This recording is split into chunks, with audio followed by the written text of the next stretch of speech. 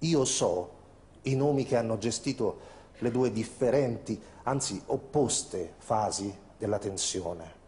Una prima fase anticomunista, Milano 1969, e una seconda fase antifascista, Brescia e Bologna 1974.